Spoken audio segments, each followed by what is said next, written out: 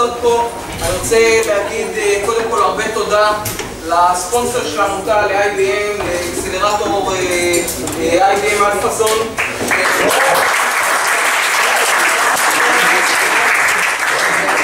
אני רוצה להגיד תודה לטנדיס שכיבדו אותנו פה באוכל. שטרח, היו הרבה אנשים שטרחו פה שהאירוע הזה יתקיים, לדמי ולאוסנת לא רגע. רגע ולאופיר שפרפר את החיים שלו במשך השנים. קצת אה, על העמותה, עוד מילה אחת, בעצם האירוע הזה זה בחסות העמותה של חוקרי אופק, אופק אה, עמותה שבעצם העמותה הזאת היא של יחידת התוכנה של חיל האוויר, אופק 180 להודס, אה, זה בעצם מערך התוכנה של חיל האוויר, אה, אלה הבוגרים שלנו שיצאו עוד רגע, אז אני רוצה אה, להזמין שניים שיבואו עוד רגע להרצות, קודם כל את אה, דני בן ארי, הוא co-founder ו-VP של פאנורייס,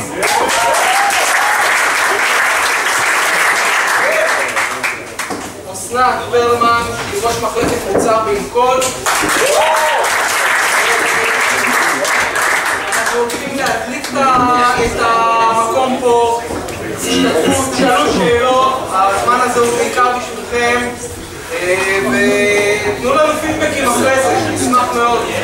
ותצלמו. ביי. אני רוצה ממש לדבר דוברת. אני אעשה switch לאנגלית. So I'll switch right now to English. Also, I will present Noah Fanto from IBM. The IBM Accelerator Alpha Zone. Uh, and uh, because it like came as a surprise, basically we started off talking about like having the talks here in Hebrew. Uh, I'm sorry for all the English speakers. I will be speaking in English the first uh, lecture, and Osnat and Noah will be in Hebrew. So afterwards, the last lecture also will be in English. So stay tuned. Okay? Does anybody have a problem with English in general? Más menos. Okay. I'll try to be as slow as possible. Okay, so um, when we started off, first of all, like we're doing during the DLD, the innovation uh, and uh, you know entrepreneurship and tech conference here in uh, right now, and there are I think like 28 meetups going on right now. Uh, it's really amazing to see a lot of people from all around the world coming here, and um, we will talk about entrepreneurship and tech. Okay, and uh, when we talk about entrepreneurship, everybody is, are talking about Israel as the startup nation. So we're going to be talking about startups. Mostly Israelis. Mostly Israelis, yeah. I, I do agree. Cocky Israeli. and, and we'll start off talking about all the phases basically of a startup company. Okay, and what it actually means to found a startup company and what tools do we need to actually implement all of these tools. So what I wanted to do is a startup, right? Uh, everybody, the matter of uh, software engineering, development, creating things, and building products. Their goal is to create the next startup company that they will sell to maybe a big corporation or maybe do an IPO. Um, I'll do a really short presentation on me. Uh, I was in uh, Ofek for eight years almost. Uh, did lots of uh, things. Uh, basically, I developed a missile defense system. I was a, a software engineer, a team leader, and afterwards a senior engineer. Um, after I left the military, I started working in a company called Windward. Uh, basically, what I did with missiles in the military, I did with ships when I left the military. And I also am an organizer of developer communities. One big things focused on big data, data science, and DevOps. The other GDG Cloud, yes, focused on cloud service providers. And uh, I'm also a Google developer expert. Basically, that means that Google uh, certified me that I talk a lot. Okay, so if you don't stop me, I will continue on talking. Okay, some important things. What I'm not, a startup expert. Okay, and what you won't be after this talk and this evening, startup experts. And what you will be afterwards, happier people because I've stopped talking, and all of us stopped talking indeed. And you will know a bit about basics about startup companies, fundraising, all that means in the matter of technology with startups. and also building company culture and leading of And what do we do at Panorays? I will really try to do that as brief as possible. We're helping large enterprises to manage the cybersecurity risk that is imposed by their suppliers. If you go back 20 years ago, CISO, Chief Information Security Officers, used to say that they spent millions of dollars on cybersecurity and they're set silent.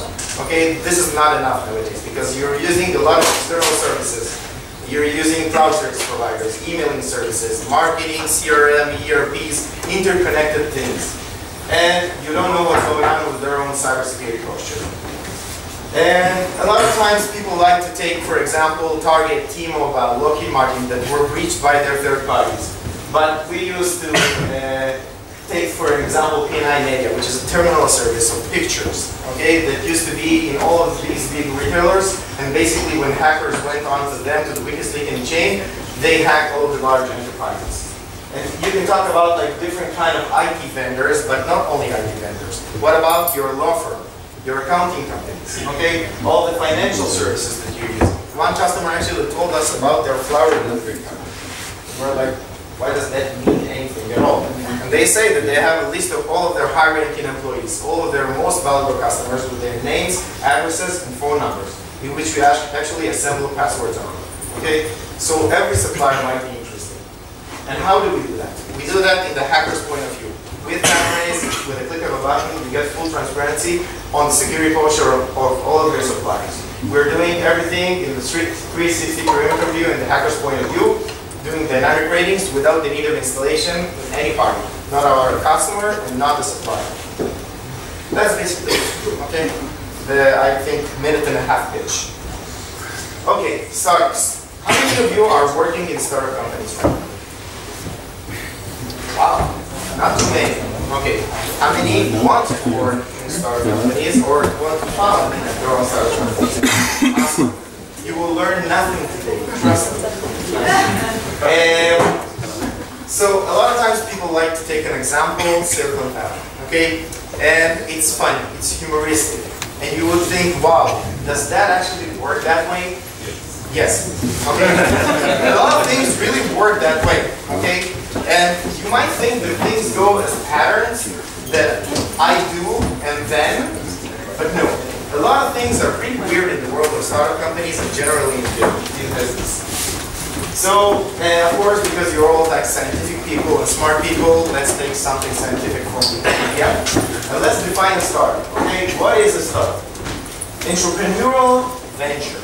Okay, this is the important thing, which newly emerges business ventures, blah blah blah blah blah something, and it hits some kind of need. This is the important thing. And of course, because we know the startup companies are dangerous, right? Then basically they have high rates of failure. This is like the general definition of startup. Somebody wants to define it elsewise? I'll choose a victim. It starts with uh, a group of people trying to uh, make a series of experiments to find a sustainable business model. Awesome. Okay. A group of people trying to do some kind of experiments, uh, experiments to do, uh, create some kind of business model and to solve a problem. I'm adding to that. What about people's money? What? what about the battlefield? Okay, so let's talk about the sectors, okay? Because like we're the startup nation, we have a lot of sectors in the world of companies in general, okay? Cybersecurity, fintech, edtech, medtech, cleantech, okay? Automotive industry, developer tools, fun, fun facts.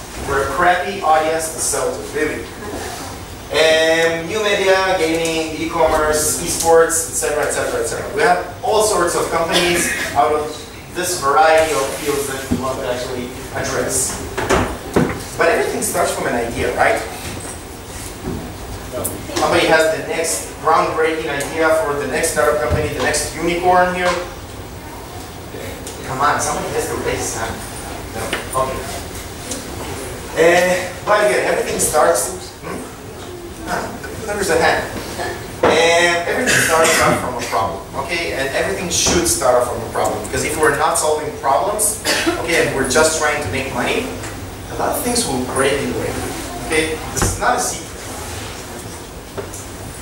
But to solve a good problem and a hard problem and to do some good to mankind or to your pocket, basically you need good partners, okay? Good startup founders. I'm really sorry that all of the not funny memes are not shown really well because I think that you can't see it really good, right? Can't see it. You can't, can't see. Okay. So I I will ask the question uh, for people who work in the industry right now. How long does it take to actually have an employee, a regular employee, a software developer, on board the company? From the moment that you actually approached him, okay, until he is hired. Four months. Okay, one month, how much? Four months. Two months. Four months. Okay, two months, yeah. The average usually is around two months, okay? Why? Because it really depends if it's a large corporation, what kind of like interview process we're doing, etc. It can happen in two days because I know him from the military, come on on board and that's it, right? How long does it take to find founders, like co-founders? Yeah, A lifetime. a lifetime. Good answer, okay? But usually what I hear from entrepreneurs is it takes like, yeah, I met him at a meetup uh, two weeks ago and we're uh, kind of signing a founder's contract and we're moving forward. And I'm like, really, literally, you met him two weeks ago and you're kind of like getting married right now? How can that be? Okay, so really, this is amazing to see the division between like common sense, which takes interviewing process, I want to evaluate him, etc. And when I need to find found some kind of like startup company or idea that I want to like, I, I don't know, some kind of achievement that I want to conquer, it's like two weeks. Okay, so think about it. These are the people that will fight in the trenches. Okay, these are the people that you will actually like tell about all of your problems during this journey because this will be a journey. Okay, you better enjoy the journey. And of course, after I found my best partners that I know lifetime, what do I need to do? It's really, guys, come on. Uh, somebody say fundraising, right? I need to raise money. I need to raise $5 million to achieve my goal, right? In my presentation. yeah? Sounds legit? Okay. B2B, B2C. Yeah, but again, I, I, won't, I won't go for the industries and everything, but again, you have a lot of options, okay? And you need to think about the possibilities of how do you fundraise and why do you fundraise, okay? Think of it. And there is a large difference between that, that you will be a first-time entrepreneur or the whole team is their, it's their first venture, or you have like really vast experience in the matter of building companies and building products, etc. And you have lots of possibilities. Venture capitals, VCs, like raising money only from VCs is not the only option, okay? And raising a lot of money is not always the best way to go. You have a lot of times angel investors, okay? Somebody can tell me like what, what might be the, um, I don't know, the good thing about taking money from angel investors and not VCs? Faster. Faster, right, totally. They they saw your product and they believe in it. You don't Okay, okay, okay, you, you have to repeat that. They, They already believe in a product. okay, You don't need to all over again. uh, okay. He says that they believe in the product. A lot of times, yes, they kind of share your dream, but not always. They might be door openers. Okay, this is the important thing to take into account because he is somebody from the industry, he understands your business, he can open doors, and you can actually like add something to your product, right? And again, fast money. Okay, it's not a long process of uh, due diligence. this is important. Also, you have accelerators. How many of you know accelerators here in Israel, for example? Four names. Microsoft. Microsoft Accelerator. IBM. The Junction. The Junction. Okay, what is the difference between IBM, Microsoft, and the Junction? The Junction is uh, it's just an accelerator and IBM is uh, like corporate. Uh, Exactly. The difference between a corporate accelerator and a regular accelerator that sets some kind of like concept maybe, and some Sometimes corporate accelerators choose not to invest money in the company, but resources, right? No, I will elaborate on that. But uh, regular accelerators want to like widespread the startup companies. Okay, they want to take them and go like meet their customers. Something that is in some kind of vertical, maybe a charted, maybe fintech. Okay, because it's by a bank. And of course, FFF. Okay, friends, family, and fools.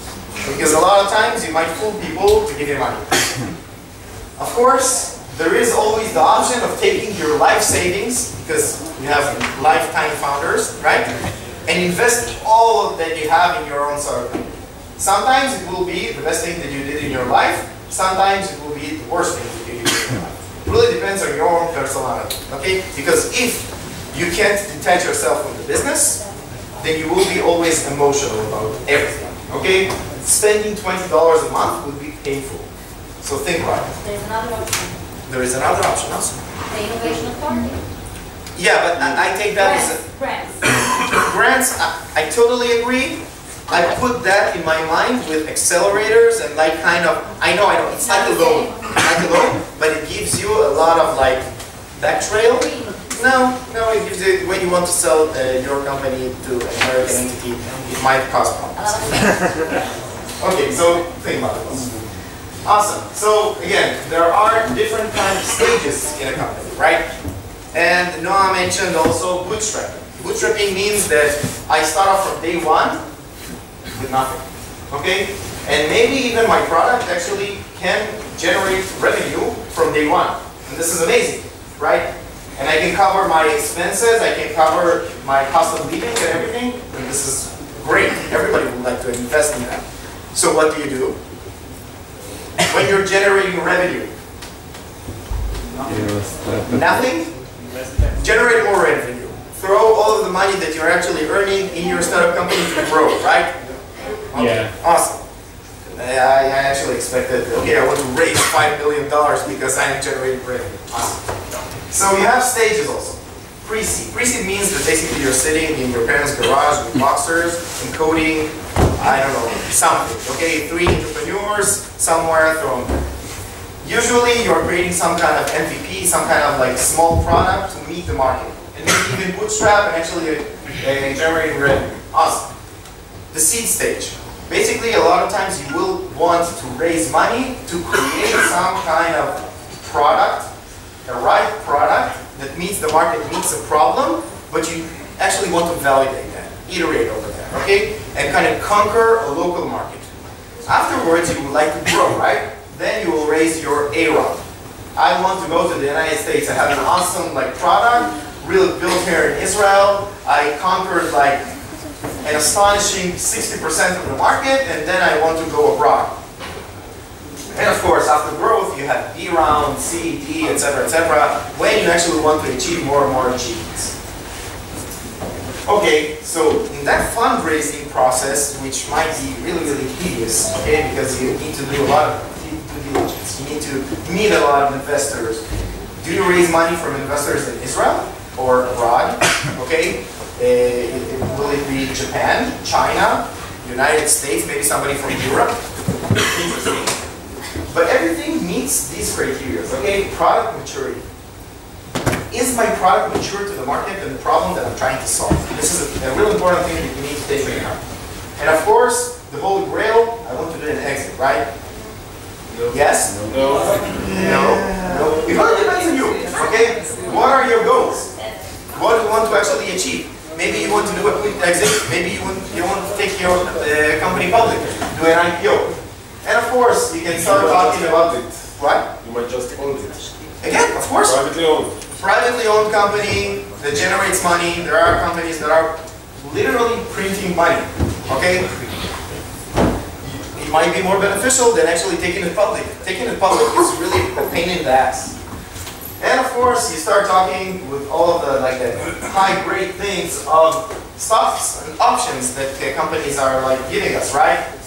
Even when you're joining a really large corporation, Microsoft, Google, IBM, I don't know, whatever, they give you grants. Every year, if you're performing well, they basically give you more stock options. Uh, not stock options, I'm sorry, options, like actual shares of the company. And of course, you have all the things, vesting, cliff, all the terms that I explained to you afterwards. But I want to take that dilution part, okay? Is dilution a good thing? Dilul. Yes, yes. Not to the people who work in the startup. Yes. So sometimes uh, dilution, sometimes dilution can be a great idea, but uh, It happens. It's not that, yeah. but Just there happens. is times it, it is the worst idea ever. Okay. Like uh, in I, I, I will stop you because it's not an idea, it just happens. When you do fundraising, you get diluted, period. Okay? Why? Because somebody is entering more money to the company and gets shares. So you get, you get diluted with a percentage. ah, Simplified. okay. That's it. But if you are doing an up round, okay, and somebody actually like overvaluated your company, it's good for you. You're getting diluted in the amount of percentage that you have in the company, but every share that you hold costs more. Okay, and you can sell it more, right? It's a good thing, right? Yes. Who do you sell to? No one. Exactly. No. One. Okay, this is the important thing to take in mind. Until you make some kind of exit, IPO, or somebody said like buys the company, acquires it, you make nothing. Okay, so because of that, I am a startup founder. I'm giving stock options. I really believe in my own company. I really believe in what we're doing. And you need to take into account that this is the risk that you're taking when you're going to a startup. Okay, you it might be super beneficial for you. We'll start talking about stock options if somebody wants to ask me questions. Awesome. If I know the answer, I will answer. If not, I will lie bluntly with full confidence. Oh, eh, sorry. Um, I think that you kind of like see. Um, I want to conclude. Think about the problem that you're trying to solve with every startup or every idea that you have. A startup company or any problem that you're trying to solve might not generate value, like revenue for your pocket, but it might give you something, it might solve something, it might give you the X on the belt, basically, that you will take your next idea to the next level. Okay, with other founders, with other people, with the same founders. I know teams of four and five people or three people that took a startup company after startup company. Their first exit was really, really small because they're like were equity hired. And afterwards they left as a team and, and then got acquired by a different kind of company and did many iterations because as I said, it's a journey. Okay? And you need to take into account, need to learn from that journey and you need to enjoy this journey. Because if not, basically we will drop out. Okay? You know, like, can somebody tell me two main reasons why startup companies fail? Cash flow. Okay, cash flow is one. Market? Okay. Interest. Competition. Fight between the entrepreneurs. The two main reasons why startup companies die, okay? Money ran out, okay? Or the entrepreneurs fought, did some kind of like bad things to each other or bad things to the startup company, got into a, to a situation which is like super not going back from, and that's it. Okay? Not product, not market. Why? Because you pivot a lot. Okay? You move, you change accordingly. And if you don't change, you fight, and you go. So, okay, this is good. It's product on the side. What? So it's the product. Might be the product, yeah, yeah, but you need to adjust yourself as a company also. I, I know of a lot of startup companies that grew, grew, grew up to a certain market cap, found out that their market is dead because Google had closed some kind of like the API or whatever that they relied on. Downscaled the company to five employees, okay, and grew it up again also. They didn't close the company, they kind of pivoted to a different kind of place. Might happen, right? Okay. The who you are trying to solve it with, founders. It's super important. I enjoy every day with my two co-founders, okay? And I enjoy sharing all of the thoughts and all the problems that we have. Basically, think of it that if a startup company uh, doesn't succeed, then you ate shit for a year, okay? If a startup company succeeds, You just eat shit for a longer period of time. Okay, this is the simple thing. And by that, you need to take into account that the people that you are taking on the journey with you, this is one of the important things. And when I mean people, it's not only founders. It's all of the other people that you kind of hire afterwards. And prioritize everything. And move fast. Okay, because one of the most important things is time. Your own time. Okay, take it dearly. Try enjoying the ride because if you don't enjoy it really, then basically you're trying to be something that you're not. And of course, because we're in Israel, okay, Mishat Achi Afi, connections. You need connections. If it's to customers, if it's to money, a lot of times what a VC and investors will bring you is connections. But you need to take an account that nobody is like really, really, can I say that, innocent, okay, and generous. Okay, everybody has motives, and you need to take into account all the motives of other kind of people. Okay, I won't go into questions because we have other lectures, and I don't want to bore you. And we'll continue on to the next uh, presentation, and if you'd like, we can have a kind of brainstorming afterwards if somebody wants. We would really love to share from our experience, okay? Awesome, so, let's.